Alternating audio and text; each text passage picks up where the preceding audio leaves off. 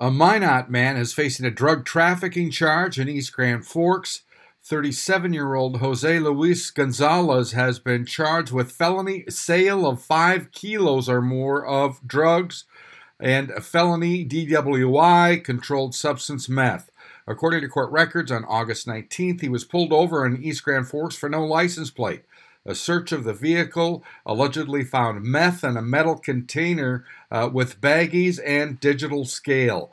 Gonzalez told an officer he was going to a local grocery store to drop off the meth for a friend. I'm Neil Carlson reporting for iNewZ.TV.